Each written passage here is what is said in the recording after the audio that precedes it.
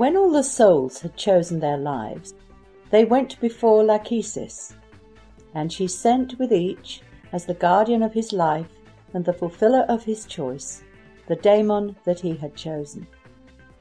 This comes from Plato, Republic, Book 10. I have memories that I believe are prenatal. See what you make of this. I am in a discussion with someone, presumably male, whom I cannot see. Below us all is grey, and I can just make out the planet.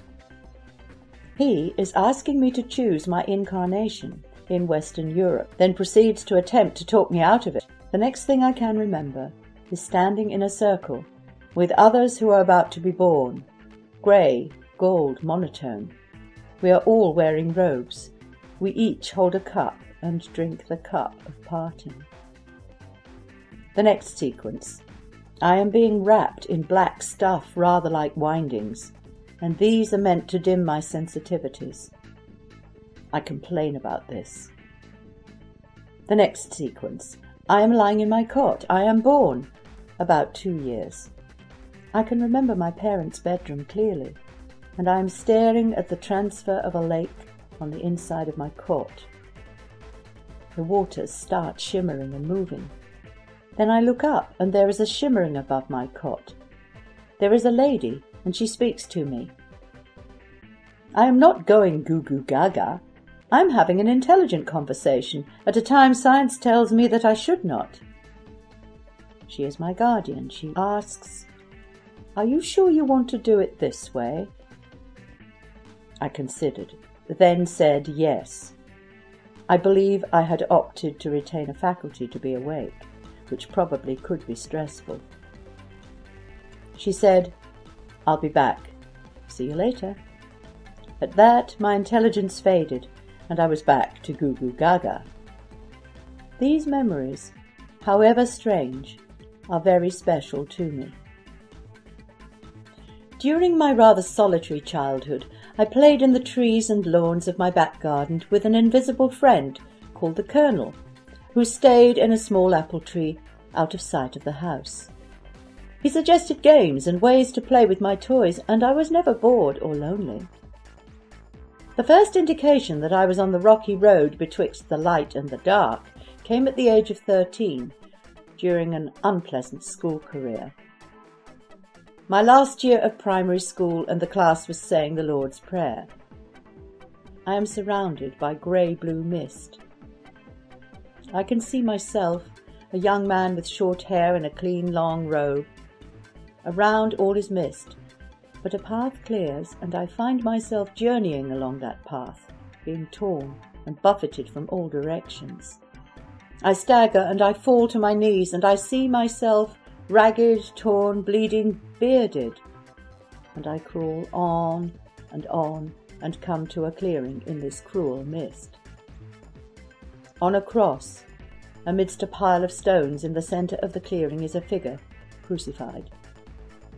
I crawl to the base of the cross and reach out to touch the foot of the figure.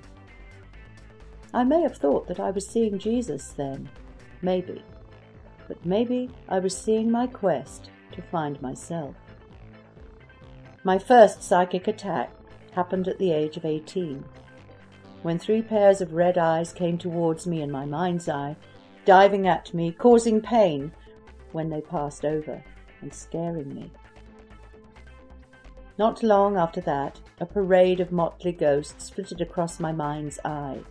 Monks in dark robes, with pointed hoods and unseen faces, rappings on my wall, ornaments falling over. I started to fear the night, the noises I would hear, what was under my bed, in the wardrobe, what I would see. One night, in the 1970s, in the twilight of my room, I felt that something horrible could happen, and I had left a little lamp on. My breathing was getting slower and slower, and worried I put my finger to my neck to take my pulse and realized that it was very, very slow. I gazed at the lamp. I noted a grainy effect of the light as if I could see little individual photons or packets of light. To my horror, at the foot of my bed, A black hole had manifested in stark contrast to the light in the room, and I could feel myself being pulled in, as if some evil wanted to suck me into the pits of hell. Plagued by demonic images of brown and light brown piebald beings glowing with a brown inner light, strange manta rays being ridden across the astral plane with some horrible rider in them, light relief comes one evening when a scaly, coal black imp visits me when I have the flu. And before I get frightened, notice that the little being is making a sensitive inquiry with pale pink eyes. In the late seventies, it seemed that I tried and tested many thoughts and images, grasping for analysis of incredible events, incredible coincidences. And it seemed to me that I had someone wonderful watching over me. I once saw her face, not sexual, but strong and beautiful as she knelt by my pillow.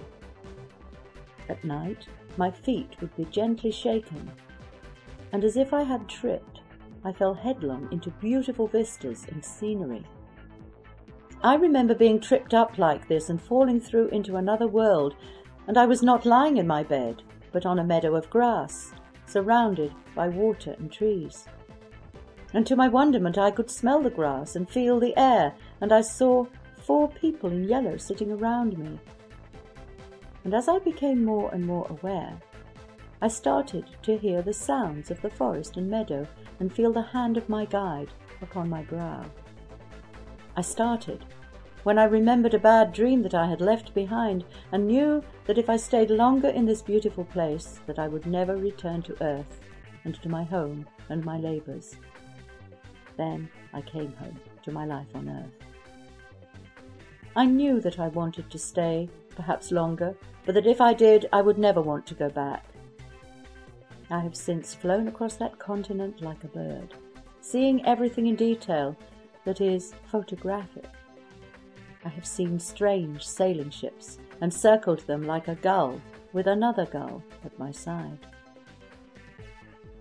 I opened my eyes one morning and there is a lady wearing a Victorian black dress with a white lace collar and long black hair sitting on the end of my bed, combing her hair. I sit up, startled, and my jaws dropped open mouthed in amazement. The lady turns round and looks at me, smiling, and mimics my open mouth, and then disappears.